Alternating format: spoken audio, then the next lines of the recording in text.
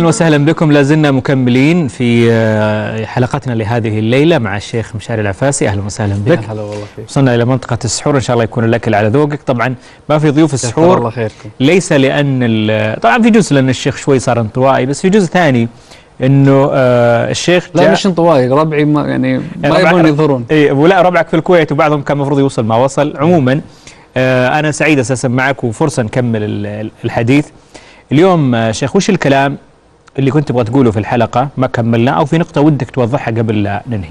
والله أنا ودي أقول انه يعني بعض الناس يعني متعصبين يعني ما راح يرضون عنك يعني. وأنا يعني لست حريصا يعني على إرضاء الناس أنا حريص على إرضاء الله عز وجل.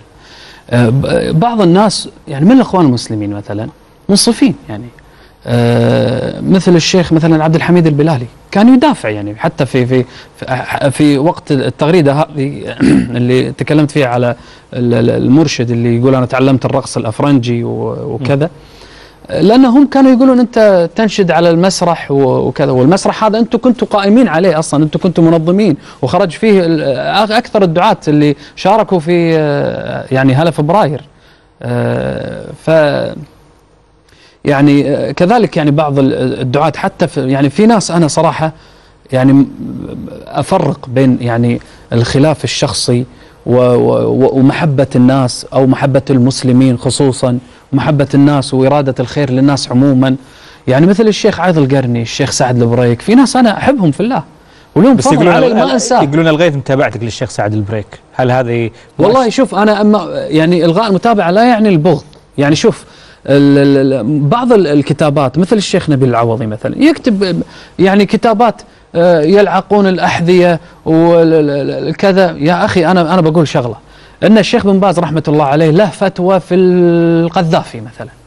إنه يرى ان أن القذافي يعني آه، كفر في في في في كتابه الأخضر أو ان أساء للنبي صلى الله عليه وسلم أو نعم. حرف القرآن و وأنا كتبت قصيدة في, في القذافي بالذات في التوراة. أنا ما كتبت إلا يعني أنا أنا اللي كاتب في في في في في, في ليبيا فقط.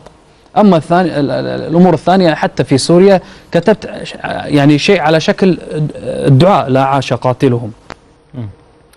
فيعني ال- ال- الشيخ يعني ال- الشيخ بن باز يفتي بوجوب طاعة و- ولاة الأمور. و- ونحو هذه الأمور اللي اللي يفتي بها من يعني يسبونهم بال- بالجامية وكذا لأن الشيخ ال- ال- الجامي ما يعرفونه الناس. هم ما يقولون الفوزاني هذا فوزاني ولا هذا هذا بازي مثلا أو هذا عثيميني أو هذا ألباني علماء سلطة وك- مثلا الشيخ الألباني ما هو مقرب للسلطة ولا هو من علماء السلطة كما يدعون ولا هو يعني سعودي مثلا أو خليجي. ومع هذا يفتي بما يفتي فيه الشيخ الفوزان والشيخ بن باز والشيخ آه، بن عثيمين. هؤلاء فتاواهم واحدة. أيام القذافي كان حاكم كانوا يفتون بأنه كافر مثلا. هو يفتي الشيخ. نعم. بينما الشيخ القرضاوي مثلا الشيخ سلمان العودة مع احترامي لهم كانوا يزورون القذافي. لما سقط القذافي ركبوا الموجة. يعني أنا أنا يعني يعني أسأل الله عز وجل أن يغفر لي ولهم. أنا أ- أكرر أقول إحنا عشنا طيش وحماسة ومراهقة سياسية. يجب أن نطوي هذه الصفحة ونقف يعني عند ما يجب أن نعالجه ونلملم جراحاتنا. دماء سفكت مئات ال- ال- الآلاف يعني في سوريا والآن في العراق مثلا.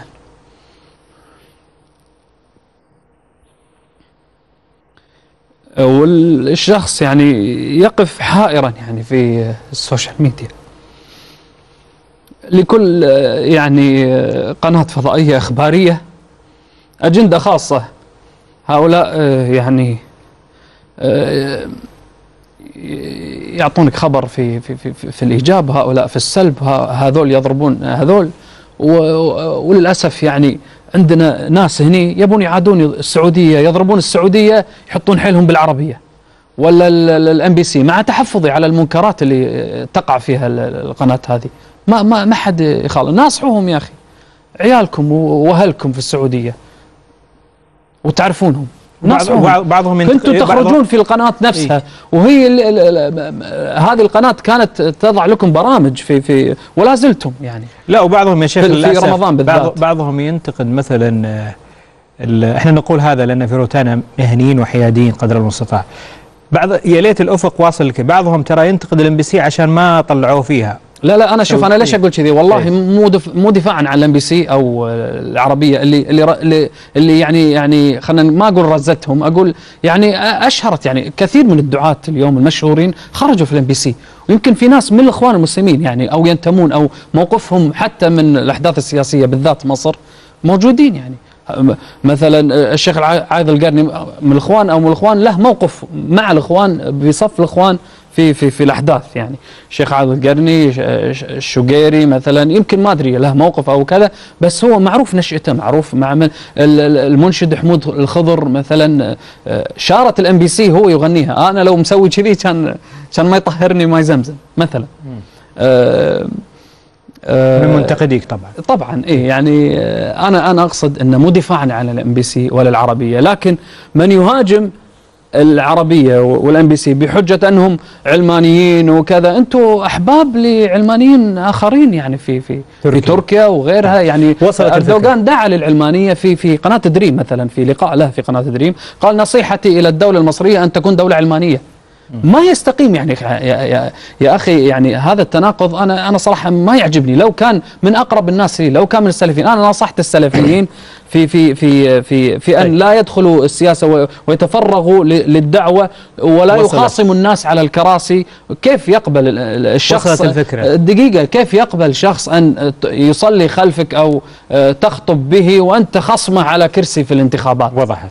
شيخ مشاري ترى عفوا هذا الكلام حرفوه. وقالوا إن مشاري يطعن في, في السلفيين الإخوان. فكتبت أنا لس مو صحيح إني أنا أطعن في الإخوان والسلفيين في مصر. قالوا مشاري كيف يتناقض؟ كان يمدح الإخوان وكذا أنا أقول كل كل هذه الجماعات لها فضل على الدين.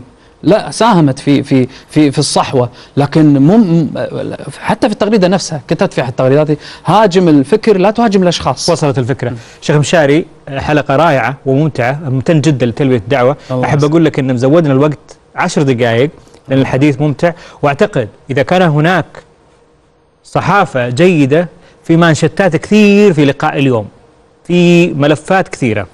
بنشوف النابهين أين هم. أشكرك. والله المنشطات يعني آه، إيه. ما تعكس دائما يعني الحقيقة. لا لا إن شاء الله يستنبطونها مما قلت آه، بكل حياد ومهنية. أشكرك شكر عميق على تلبية الدعوة وعلى هذا الحضور البهي. أشكركم أنتم لأنكم دائما تخصصون جزء من وقتكم لمتابعتنا في أهل رمضان غدا ضيفنا شاعر كبير من رموز الساحة الشعبية ومن مؤسسيها عاش أكثر من ديربي في حياته.